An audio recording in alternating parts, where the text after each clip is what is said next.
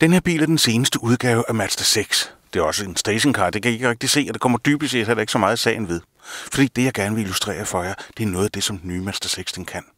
Det her det er optimum-udgaven, det vil sige, at den har hele topudstyret, og øh, det er altså ret stort for nu at sige det mildt. Blandt andet har den LED-forlygter, det kan vi heller ikke se, det er værd som der er i øjeblikket, fordi det er lyst. Men øh, til gengæld så er det fugtigt derude, og det er noget af det, vi skal se, hvordan at bilen den opfører sig på det her fugtige område. Mazda har nemlig udviklet noget, der hedder G-Vectoring.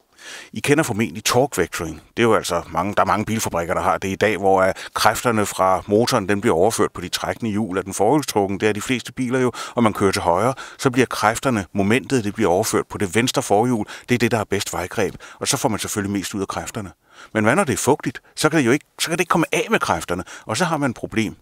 Torque vectoring fungerer på den måde, at man ved hjælp af ABS-systemet bremser, i det her tilfælde, i mit eksempel, det højre forhjul, og dermed så roterer det ikke så meget, og så kommer kræfterne automatisk over på venstre forhjul via øh, differentialet. Her har Mazda gjort det fuldstændig modsat i virkeligheden. De har skabt G-vectoring. Og det går ud på, at når systemet opdager, at vejgrebet faktisk ikke er så godt, som det måske burde være, så slækker det lige på momentet et øjeblik. Altså i stedet for at føre momentet over på hjulet, så slækker det en anelse på momentet. Og det betyder, at den vipper en anelse fremad, lægger tryk på forhjulene, og så kommer der ikke rigtig noget hjulspind ud af det. Til gengæld, når vejgrebet er der igen, så får man altså det moment, der skal til for at trække bilen fremad. Og det kan gå temmelig hurtigt sådan en her. Den er udstyret med en 2,2 liters turbo dieselmotor. Den yder 175 hestekræfter. Drejningsmomentet er maksimalt 420 Nm ved 2000 omdrejninger i minuttet. Så man kan altså komme temmelig hurtigt afsted fra 0 til 100 km i timen på 8,6 sekunder. Så har vi ligesom de der ting på plads. Men Mazda har gjort en anden ting med den nye 6'er. Læg i øvrigt mærke til, den har automatgear, 6 automatgear.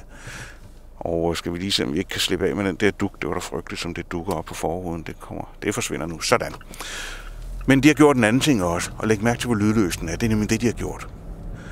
Nu accelererer jeg ikke optimalt, fordi jeg synes, I skal opleve, hvor lydløs den her motor den er. Og hvor lidt diesellyd der er. Nu skal jeg prøve at tige stille. Det er svært, men nu tiger jeg stille.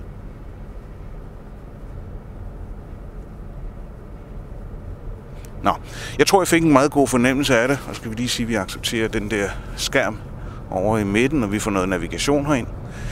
Det der G-vectoring mærker man ikke rigtig noget til i sådan en kurve, som den vi lige kørte igennem. Men henne for enden af det her stykke vej, der skal vi dreje til højre. Der er fuld oversigt, så jeg kan godt køre lidt frisk omkring hjørnet. Nu vil jeg håbe, at jeg lige får lov til at køre forbi her, inden ham, inden han eller hun, eller hvem det nu er, skal ud på vejen. Det fik vi lov til, det var dejligt.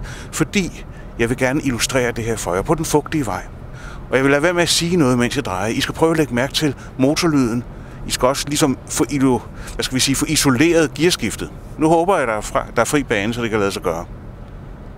Vi kører til højre.